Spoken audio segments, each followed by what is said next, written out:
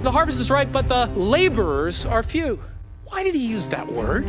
God goes to extreme measures to bring the lost to himself. The greatest gift you will ever give this world is your intimacy with God. The Father, Son, and the Holy Spirit are all three inside of me. I've got the power right now. I think what Jesus really wants is people to go. I want to be the answer to Jesus' prayer request. Welcome to the Fuel for the Harvest podcast. When this gospel of the kingdom shall be preached in all the world, then shall the end come. Hey everyone, and welcome to this latest episode of Fuel for the Harvest. I'm Nathan. And I'm Charlie. We're your hosts for today. And we're really excited to welcome to the podcast today Jason Holland. Uh, he is the president of Joshua Nations, and they do phenomenal work all around the world. So, yeah, thanks for joining us, Jason. Well, it's an honor to be here with you today. Excited. God's continue all around the world and uh, taking his gospel and reaching the unreached.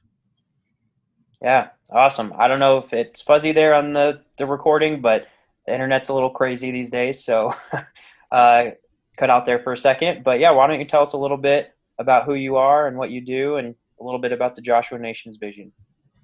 Yeah, so I am uh, a third generation minister and grateful for a Christian heritage. And actually, I grew up on the campus of a Bible school. My dad was a Bible school professor, a pastor, and still continues to pastor. Um, and the Lord called me to missions uh, uh right after high school. That was not my plan, but He uh, He called me, and a little bit reluctantly, I surrendered, not knowing what I was getting into. But uh, looking back now, I'm very grateful for that. But over the last uh, 20 two years been involved in missions in some capacity, and most of that time has been full time. And I have the wonderful privilege of leading a ministry called Joshua Nations. And uh, our focus really is to disciple and train up a new generation of church leaders around the world. And uh, we do that through a variety of ways, but our primary way is to establish a church based Bible school using a curriculum that we've developed uh, in partnership with reputable uh, ministers from all around the world and provide a two year Bible school program that is in the local language. We translate it for them, or they actually do the translation, but we fund the translation. Then it's printed into a book, and we teach them how to build a self sustainable Bible training center or Bible school. Wow, that's phenomenal. It's really phenomenal. And you know what's more phenomenal is what the Holy Spirit has done with it because it's definitely nothing that we have done. But there's over 7,000 of them now all around the world. Oh my goodness, that is amazing. Seven thousand Bible schools, right? Over seven thousand Bible schools. Most of them are uh, put or placed within local churches, but we have some that are actually uh, within businesses, Christian-owned businesses, hmm. in closed or restricted nations. And so I was given the privilege, and I can't name the nation, but uh, I was given the privilege in Asia to launch a Bible training center in a restricted nation around a conference table with the CEO of a pharmaceutical company and uh, Christian believers that work for him. Wow, that was really one of the highlights of uh, what we do. Yeah. So that's our primary thing is uh, is training leaders that way. But we also do training for church planters, and we have specific and focused initiatives for reaching unreached and unengaged people groups as well and all those look a little bit different too so how how did you initially get that kind of like vision for raising up national leaders so obviously there's a lot of different ways to do missions like what what was it that led you to that specific method i began doing missions work while i was in bible school in the late 90s and actually did mission stuff with my family growing up uh, and so I just remember the Lord really speaking to my heart about the importance of missions and empowering local leaders. So a few years go by after Bible school. I was continuing my education uh, with uh, pursuing some other degrees. And I got connected with a wonderful ministry and began doing missions work with them. And our focus was training pastors and church leaders, very similar to what I do now. But we did a lot of conferences. And so we would gather anywhere from a dozen to several hundred pastors and church leaders, and then spend about three days doing a conference style uh, training. It was very powerful, very impacting. Um, the men and women would come uh, very tired and even beat down. I did a survey one time, about 40% of them were ready to throw in the towel if God didn't do something at that particular wow. event. Hmm. And while I was doing those events, I saw that their spirits were lifted, they were excited. And at the end of the event, they were ready to continue on. Many of them committed to even plant churches and start new ministry initiatives. But what started happening uh, was I received the request. At the end of the events, I would have numerous men and women come to me, and because of what I taught at the event, which was always about multiplication, discipleship, and raising up new leaders, they would say, We want you to come back and spend a week with us or more teaching us how to raise up a new group of leaders. And they said, We need more time specifically focused on that subject. And then the same thing began to happen with church planting as well. And so uh, my heart was just burdened with that. And that continued to happen over and over for a couple years. And it really became somewhat overwhelming. And I felt that need. I began to pray into that specific need that was being given to me.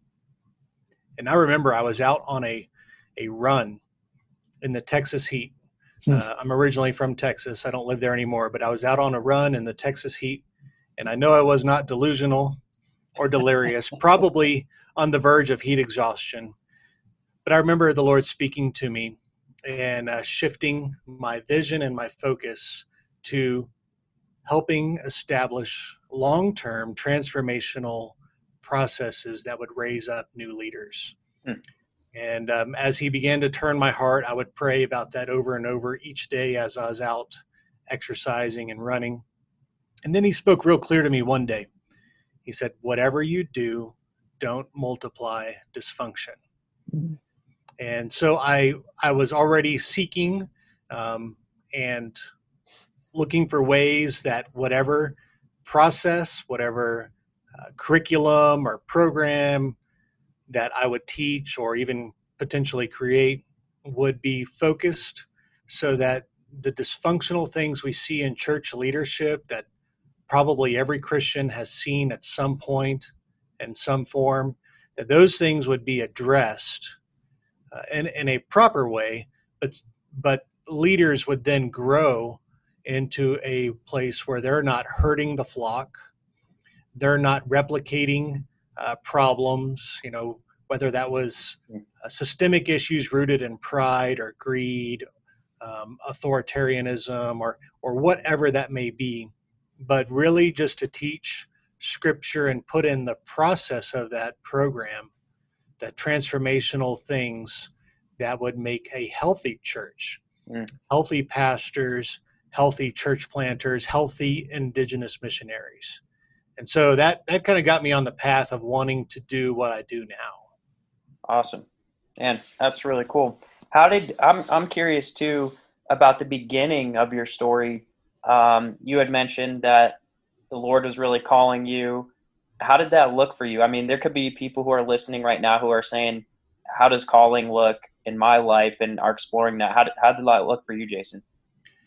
Okay, well, um, my my entire uh, I guess childhood and, and high school years and academic pursuits were for the sole purpose of excelling and doing great. My original plan and goal was to become a clinical psychologist or even a psychiatrist, to make a lot of money, have a mini mansion, have a uh, German made sports car or luxury car, whether or not I was married, or maybe have multiple cars, and to help people. uh, and uh, so my, my goal was to help people. And then with my free time and money is do missions work But growing up in the ministry, I'd seen the good, the bad, and the ugly, and I thought, I don't know that I want to be part of that. Yeah. So I enrolled at some uh, a couple different universities. I was given scholarships based on academic merit. And after enrolling at one particular university, I was walking out and I had this overwhelming, almost sense of dread. And I looked over to my mother who was with me. I said, I'm not supposed to be here. And we both kind of teared up and it was it was kind of a weird moment. And so we stopped the process. Well, a week later, I enrolled at another university, one that was a little more Christian. Um, I did not have scholarships at this one. I didn't have grants and, and all the great stuff you get from having uh, an academic achievement. And uh, I enrolled at this university, and I I go for actually like three or four days, go to class. Absolutely miserable. And I was driving back home uh, to where we lived at the Bible school where my dad was a professor. And I finally prayed. I said, God, what is going on? Um, I don't know if those were the exact words, but that was definitely the heart. it wasn't a long, drawn out prayer. My drive home was about 15 minutes. And I remember about the specific location on that drive home, God said, uh, You know where I want you. And I said, Oh, no, God. Uh, he said, Yeah, I want you there. And he wanted me to go to that Bible school that I grew up at. and said, Lord, I don't want to go there. I didn't didn't have any desire to go there. Uh, I really felt like that was, you know, I was very arrogant. I really felt like that was beneath me. And uh, God and I wrestled in this 15 minute drive home. And I said, Lord, if I do this, you know that I'm giving up everything. He said, Exactly. Mm. Said, okay. So I I actually had enough time to call my father on the way home. Their semester had been going for several weeks. I said, "Can you help? Can you help me get in?" He said, "Well, of course." And I and he said, uh, "You know what's going on?" I said, "Well, I feel like God called me to go to school, go to Bible school." He said, "Oh, it's about time." I said, "What do you mean? What do you mean it's about time?" And he said, Well, I was just waiting for you and God to work it out, but I've known all along. Said, Okay. So um, it was really a, uh, process of surrender. And uh, if I could say one thing about that, a lot of times we think we know what we want with our lives and our futures. Um, but if we will surrender those things to God completely, give them over to Him, He will He will replace them with dreams, visions, um, ideas, and and even the activities with things that really bring true fulfillment. And as I look back now, I am not only beyond grateful. Um, I can't imagine sitting in an office listening to people's problems all day long, mm. then trying to help them through that. Uh, there's nothing wrong with that, and that that's a wonderful ministry and career. But for me, the most exciting things in my life are the visions and the activity, yeah. the opportunities that God's put in front of me, and and I am absolutely elated to do that. Amen. Awesome. Yeah, it's it's kind of like uh, makes me think of Paul when he says, "Woe to me if I do not preach the gospel, for I'm compelled to preach." I he like or like Jeremiah, this word of God is in my, my bones like a fire. I'm weary of holding it in. I cannot possibly hold it in. And just that sense of calling that it seems like God will put on people's lives when they have that. It's like they could do anything else and they will be miserable unless they finally say, okay, Lord, I'm just going to do what you want. And it's worth literally laying down everything for the sake of it. Mm. So obviously, God's been doing some awesome things. Um, is there any kind of testimony that you could share with us? Uh, I know you probably can't get too specific or anything, but is there any um, anything that you can testify that the Lord is up to um, recently through Joshua Nations? Yeah, something from the field would be awesome. We know you've probably had a lot of wild stories around the world, and so what, whatever you want to throw at us. Wow, there's so many incredible testimonies of what God has done uh, through Joshua Nations. I think you know the the biggest one is really the impact. You know, the ministry was started by another gentleman, Dr. Russ Phrase, and he continues to serve with the ministry as founder. And I'm grateful for his uh, mentorship and his love and his partnership in ministry. Uh, but it's by the Holy Spirit that we've been able to uh, see over 7,000 of these Bible training centers launched. We've seen true transformation, which is a, a, huge miracle as well, where entire villages have come to a saving knowledge because of the impact of a Bible training center. Mm. Uh, we've seen holistic transformation where they start implementing biblical principles that they have learned. Um, not only do people begin to get saved and, and the village turn to Jesus, but they start practicing business principles.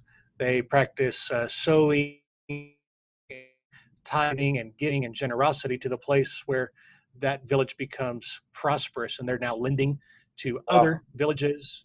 Uh, they begin farming and selling and making very serious profit for for their part of the world. So those kinds of things continue to astound me, just because of the scale of uh, what happens because of an impact of uh, what Joshua nations just seeded into their village, into their people. Um, we've also seen some incredible things happen in West Africa. And uh, one of our uh, projects is focused on reaching the seven unengaged, unreached people groups that are in the nation of Niger. Mm. We don't do this alone. We have a, a strong partner who actually leads most of the uh, direction for it, and that is a ministry called City for the Nations, which is based in Lexington, Kentucky.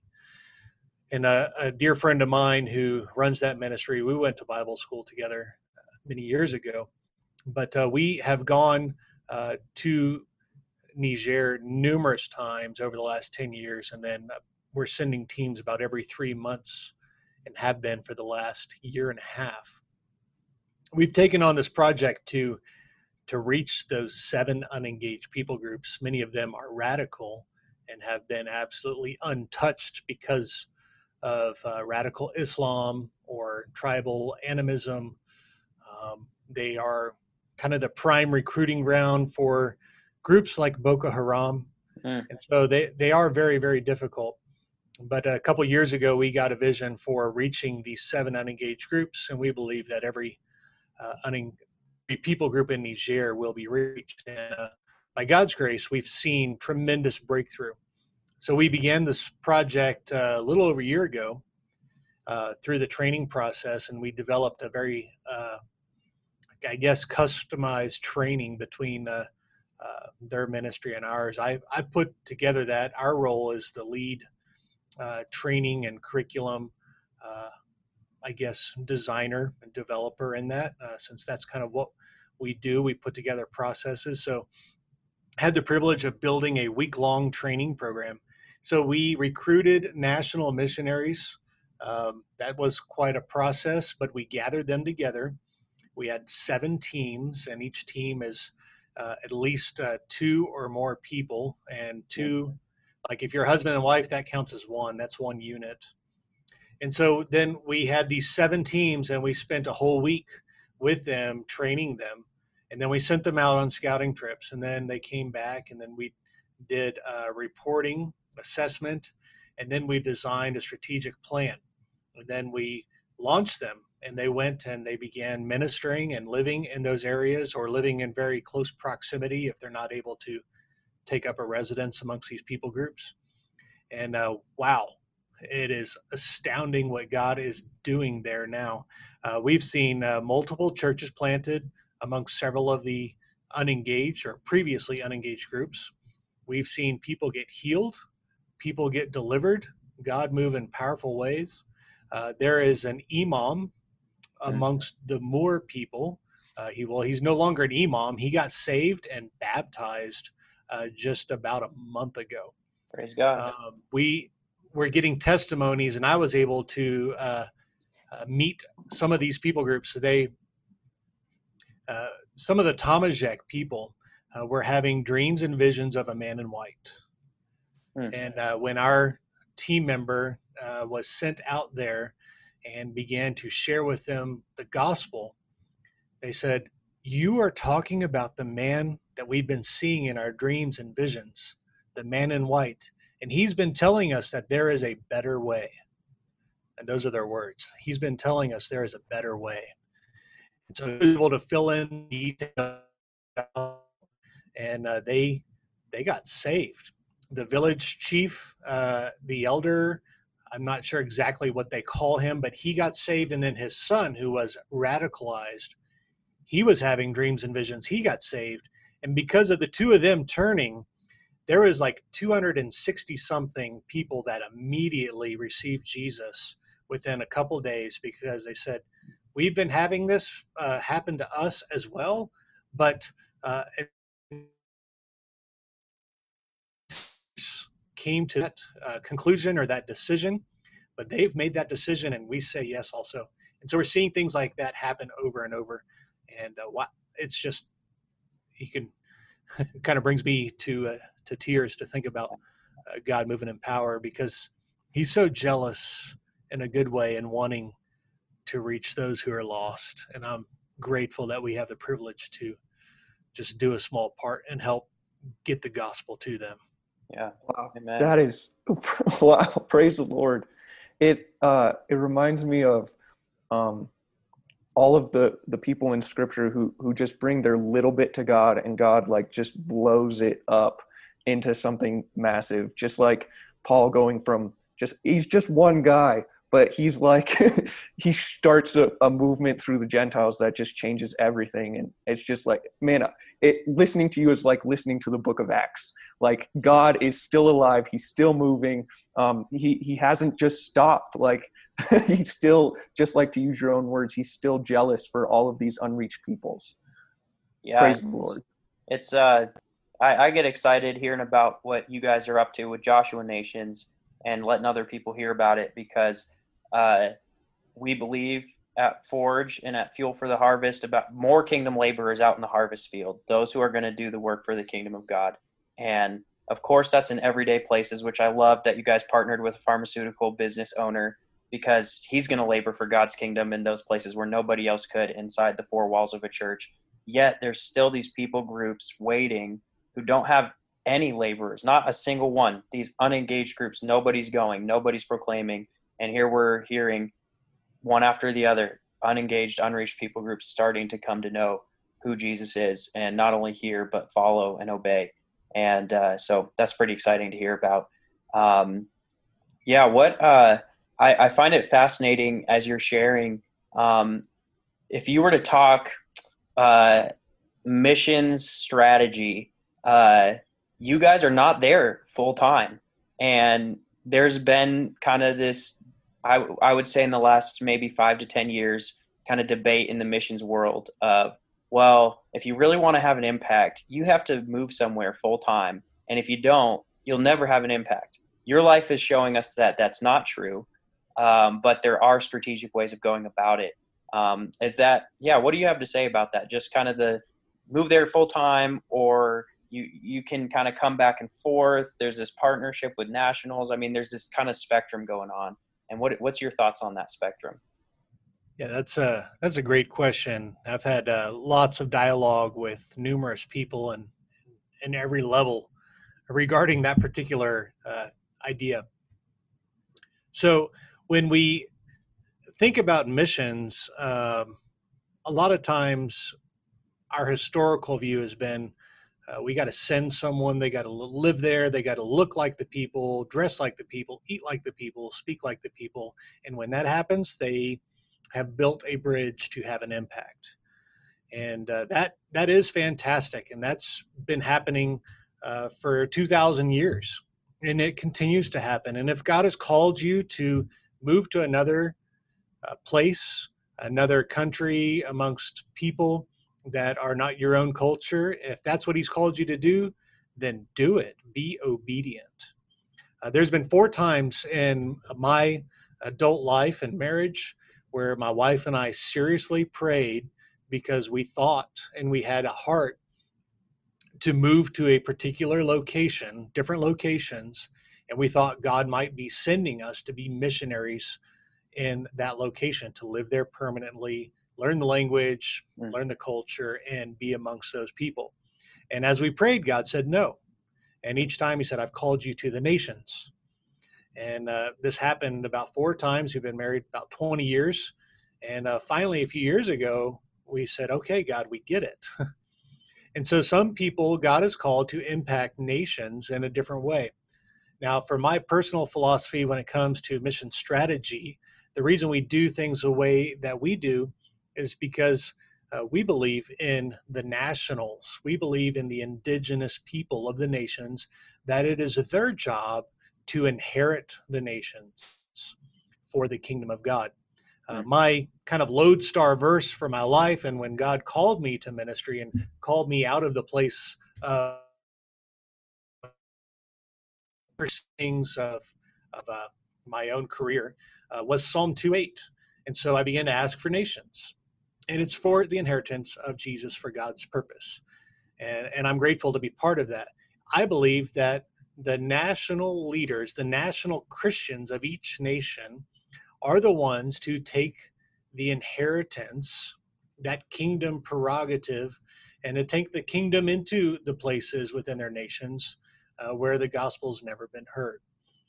Um, and I believe that so strongly that that we operate by coming in and lifting up the arms of the national Christian leaders, empowering them, equipping them, and helping them find the way to make that happen. Uh, we don't uh, we don't do ongoing funding, so we're not just throwing money at them to create a dependency so that they can do work in our name. Uh, everyone has to be self-sustainable. Uh, we do help with projects and a little bit of support for a few of our leaders who are overseeing large regions. But overall, we believe that the national leaders need to uh, walk into their calling, walk into their role, and lead their nations into a love and transformational relationship with Jesus. And so I think that can be done by living somewhere else, being based somewhere else, but the attitude and posture has to be one to serve, to equip. And for us at Joshua Nations, we understand that we are always the junior partner. And I don't come and open up my toolbox and say, here's what we're going to do, here's how we're going to transform your nation. Uh, many times I will uh, start a relationship with a scouting trip, uh, and that will be going with really no agenda. I might preach in some churches, maybe we do an evangelistic event of sorts, but there's no real agenda, there's no program. Uh, we may not launch any kind of school or do anything like that, but it's really to hear the heart of the leaders. And uh, through hearing their heart, we can determine how best we might be able to come along and serve them so that they can assume the role and the call that God has placed on their lives. That is awesome. One thing that I love about what you're saying is that it's a little, it might be a little bit different for some people depending on what their view of missions is. And uh, one thing that I've noticed is it seems like uh, the the missions spectrum is quite diverse. And as long as you're doing what God's calling you to do, it's probably a good thing for you. it's probably a good thing. And it's it seems kind of foolish in my eyes for us as missionaries, because I've heard story after story of of, of long-term missionaries throwing stones at, at short-term missionaries and saying you're doing it wrong and, and short-term missionaries throwing stones at long-term missionaries saying you're doing it wrong it's like hey like maybe god is more than just one method maybe he uh, is a, a diverse god and he has a way bigger picture than our super limited view and uh, so it's awesome to to hear about how God is using Joshua nations in that itinerant role, raising up nationals to uh, to really have a serious, significant impact. People who had never heard of Jesus are coming to know Jesus, and you live uh, uh, wherever you live. You know, like you live uh, not in that nation. So it's just, it, I mean, praise the Lord that He's diverse and that there's a lot of different ways to do missions. Yeah, there's definitely so many different ways. And the key, like you said, is obedience. Just do what God has asked you to do. Don't do anything more and don't do anything less. Uh, There's there's one thing that uh, drives me crazy is when I hear people, like you said, throwing stones at others. Um, in Ephesians 4, it makes it very clear that the body is diverse Mhm. and we are gifted in different ways. Uh, before we can see Jesus return, not only do we see every people group reach with the gospel, it also says uh, unity in the body. And so when we see unity in the body, wow, uh, how much more powerful and effective can we be? Yeah. and uh, it's it's such a unique time right now and I, I see the body is becoming more unified than ever before uh, and i'm grateful for that. I also see the advance of the gospel moving faster than ever before and today as the world is kind of standstill in some ways uh, i believe there's a preparation for an incredible harvest that's about to happen as soon as we're released again and uh, able to really go after it. Yeah. Yeah. I'm excited for that. And I know a lot of people in this season are spending a lot of time in prayer and in the word. And even from some of the testimony you've shared so far on this episode, uh, you've talked about different times in prayer with the Lord. Uh, I know that you're a man of prayer and it's really important in your life and ministry. Um, why don't you tell us about that? Like, what, how do you pray for your ministry and how do you see the role of prayer in your ministry specifically? Yeah, we are as a ministry we're we're trying to rally a campaign. I'm calling it a movement, even though we're not there yet. But I would love to see a thousand people Mm. praying for the completion of the Great Commission. Mm. And uh, so we've been championing this call to prayer over the last couple months and not knowing really what was going to be happening in the world. Uh, this is a wonderful time to press into prayer if you've never done that before. Uh, prayer looks like a different, again, it's very diverse. It looks different for everybody. Um, in the mornings, I like to read the word and pray. I also like to pray while I'm out walking or running or, or by myself. Um, if I'm in my car or alone, um, I like to pray as well. Uh, there's, and for me personally, I think there's kind of different styles of prayer that happen throughout the day. Uh, most importantly, it's about having a communing relationship with the Lord, knowing that uh, the Holy Spirit is there with you all the time. And so, Mhm. without all of the, I guess, religious motions or going through a program, uh, you can talk with God right where you are. You don't have to begin with formalities. The scripture is clear about ways to pray as far as being thankful, praising Him, uh, being respectful and honorable.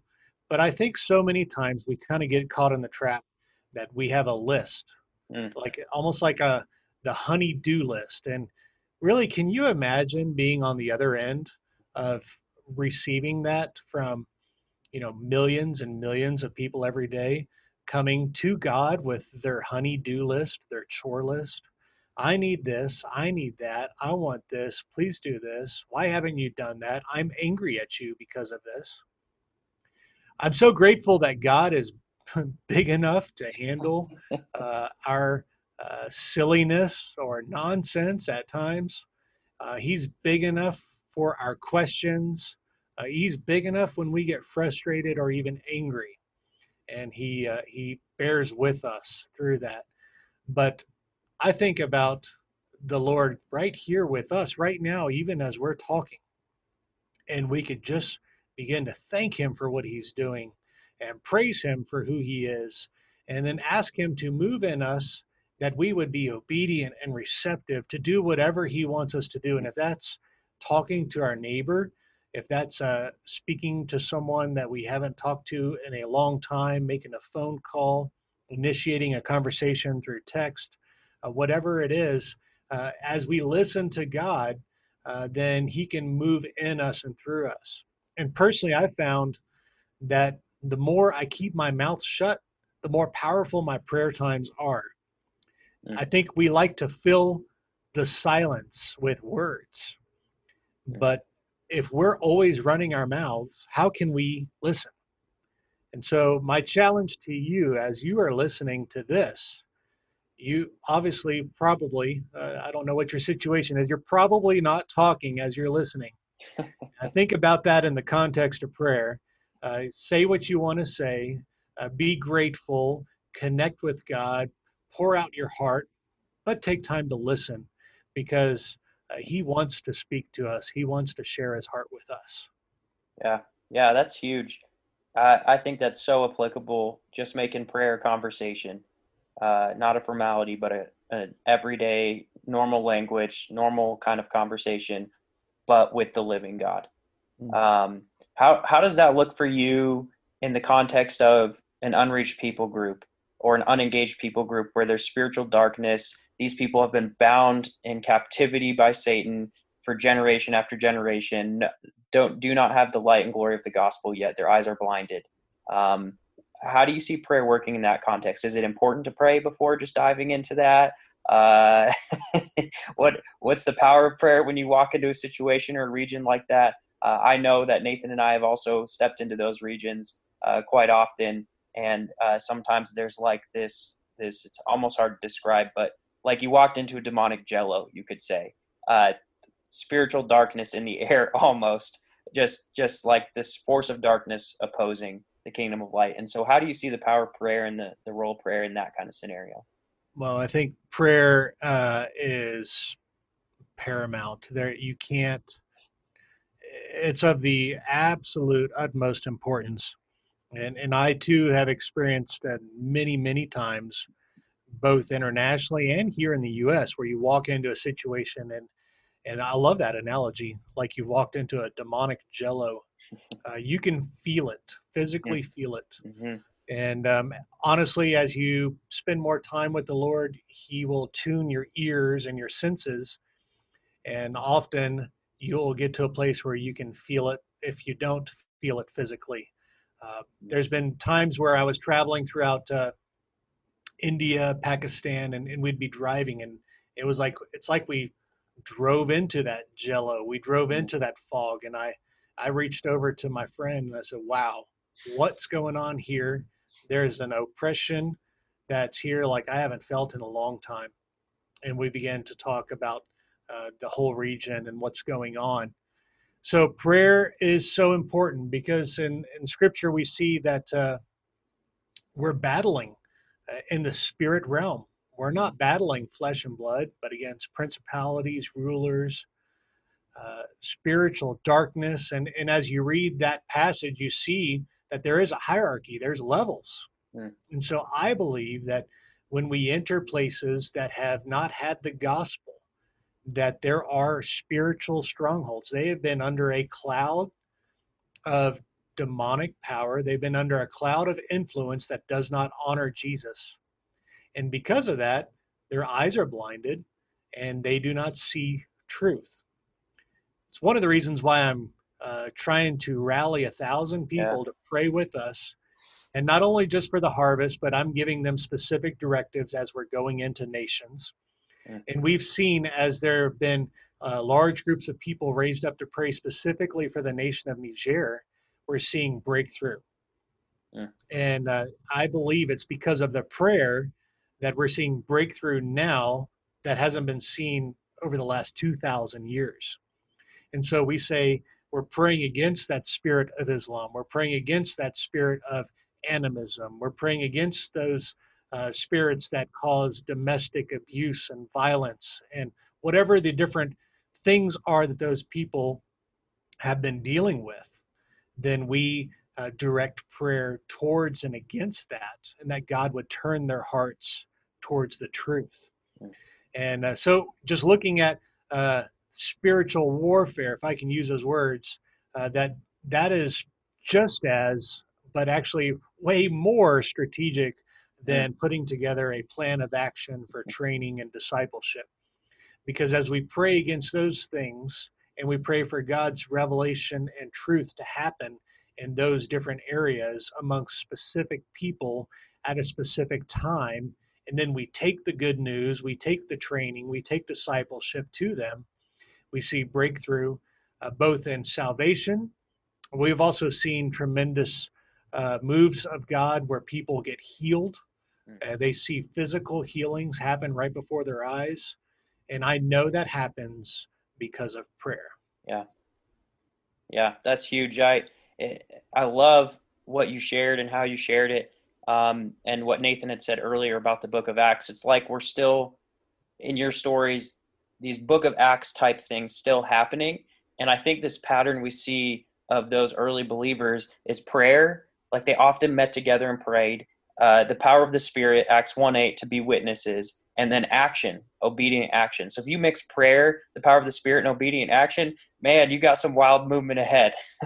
right. And the cool thing about that is it's not super depend like God is the active figure in all of that. He uses us and we get to be a part of it, but like God is the one who's unlocking the nation of Niger, for instance. I, have been feeling something really similarly about our work among the Hadza. Um, this year, my like my jaw was on the ground and my eyes were opened uh, to like just a, a, a, a it felt almost exponential. And i'm like i'm so convinced it's because we've been intentionally praying throughout the year that the lord will be working mm. continuing and continuing and continuing. And uh, it just seems like prayer is that that that that key. Um, the lord moving is that key uh, to unlocking the nations absolutely. And I would encourage every person who's listening if you don't have a people group to pray for, yeah. uh, there's wonderful information you can get online. Um, we don't uh, we don't have to feed you that information, but you can find that and and God will burden your heart. Now, if you're looking for specific information, sure, reach out to uh, to uh, Charlie or or Nathan, or or you could reach out to Joshua Nations if you wanted, and we could definitely connect you with some things to pray for. But I remember uh, before I was really focused and hard after the uh, the finishing of the Great Commission by reaching unreached people. I remember God called me one afternoon to start praying for a particular people group and region within the nation of India. And it began uh, about two o'clock, three o'clock in the afternoon, and it happened every day for like four days. And I'd end up uh, praying and just praying and actually weeping over this particular region and people group for I think it was an hour, two hours at a time. And uh, if I remember right, is I think it was four days. And um, and then about a week later, after that was done, it was like that burden lifted a friend of mine in India said, Hey, Jason, I want you to look at this. And he shot me a video. And there was intense, violent, horrible yeah. persecution that was happening in this region. And uh, I said, What is this? Where is this going on? And they told me. And, um, and I said, Oh my gosh. And I was like, When was this happening? And he gave me the timeline. And it was almost to the minute of when God had burdened me to pray. Mm. And uh, I don't know what God did, but I do know that He burdened me to pray for those people, and I and I did that.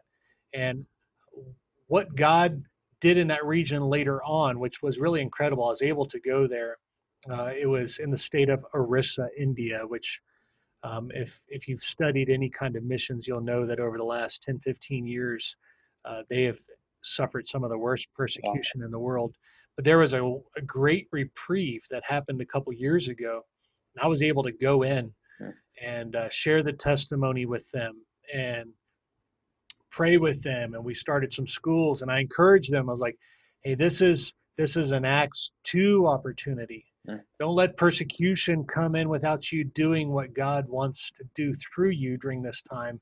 Because otherwise, you're going to end up in Acts 8 again, where persecution comes and scatters you again said, take hold of this opportunity. it was really a powerful time. So, uh, all that to say, when God burdens you to pray for a specific people group, wow, do it because you don't know what may be happening at that very moment. Hmm. Uh, if that's in the middle of the night, uh, the Lord woke me up the other night uh, about 3.30, 3.40 in the morning. and it was actually for a, a person here in the U.S. and I couldn't shake it, and um, it was kind of odd. I woke up with this almost like a migraine headache, and I never get headaches, and it was so intense. I'm praying, I was like, God, take this headache away. I want to go back to sleep. And he's like, Hey, have you asked me if I, if I want you to pray for something? I said, Oh, well, what do you want me to pray for? And the name of this person came to my mind that I hadn't thought of in a long time. Began praying for them, and uh, Mm. wasn't too long after that. I was fast asleep, woke up perfectly fine, no headache. But uh, I remembered praying for that person that next morning. And I really felt like God said, I asked you to pray for them, and I had to wake you up with a headache to get your attention. I said, Okay, thank you, Lord. That's a good story. Super yeah, it's good. cool when God does stuff like that. If if you're listening and you're saying, "Hey, where can I get general information about people groups around the world?" There's two really good websites: uh, peoplegroups.org and joshuaproject.net. Uh, they're just general ministry websites that post people groups and statistics, uh, places where you can check them out and pray. Um, yeah, Jason, if if people are saying, "Man, I'd really love to be in contact with you," or Joshua Nations, what's the best way they can reach out? You can go to our website, joshuanations.org. We are not the same as Joshua Project, though we love them, and their base is just down the road from us. Uh, but uh, joshuanations.org, you can connect with our prayer movement on there. You can send us an email uh, from there. Uh, we're a small team, so if you send something, I guarantee that I will see it, I will read it, and respond. Uh, but we would love to uh, serve you however possible. But no matter what, I would just say be obedient to whatever God is telling you to do when it comes to missions, whether that's going, sending, praying, or getting involved, uh, serving locally. No matter what, just be obedient to whatever God is telling you to do. Awesome. Thank you so much, Jason. And uh, thank you to all of you who are listening. Um, that is all that we have for this week's episode of Fuel for the Harvest. And uh, just remember, uh, the Lord is alive and active. Uh, the book of Acts is still uh, happening today. We hope you have a great rest of your day. God bless.